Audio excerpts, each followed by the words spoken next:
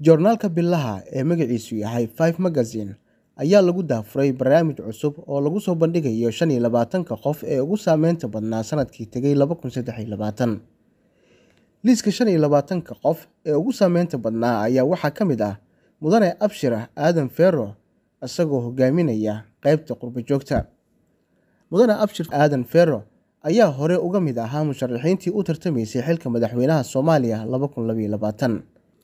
Xisbiga Isbahaysiga Mustaqbalka uu hogaamiyo Mudane Abshir Aadan ayaa sannadkii hore noqday taariikhda markii ugu horeysay xisbiga keliya ee Soomaaliya kuna biira ururka caalamiga ah ee la yiraahdo Centrist Democrat International oo loo soo gaabiyo IDC xaruntiisuna ay tahay caasimadda Brussels ee dalka Biljamka waxa uuna xafiiskooda ku dhex yaalaa xarunta midowda Yurub. Mudane Abshir Aadan ayaa ka mid ah siyaasiyiinta aadka ugu taagan dalka in ay ka dhacdo doorasho qof iyo cod xalaal ah. Mudane Abshir Ferro ayaa caan ku ahaa la dagaalanka musuqmaasuqa isagoo ka soo horjeestay ku tagrifalka xuquuqda dadka Soomaaliyeed.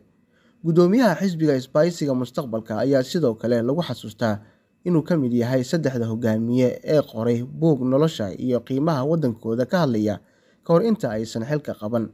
Labada hogaamiye ayaa waxa ay kala yihiin madaxweynihii hore ee Mareykanka Barack Obama iyo madaxweynaha Faransiiska Emmanuel Macron.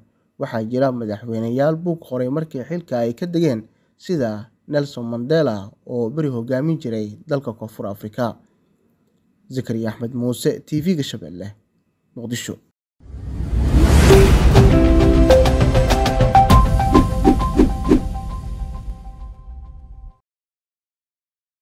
Abka dahabalaas oo lagugu sameeyey habkii ugu casrisanaa waxaad hadda hal meel ka wada heli kartaa dhammaan adeegyada dahabshiil group adigoo isticmaalaya ablikhethonka dahabalaas oo adeegyo dheeraada lagugu soo kordhiyey ku bixi ku iibso ku kaydso.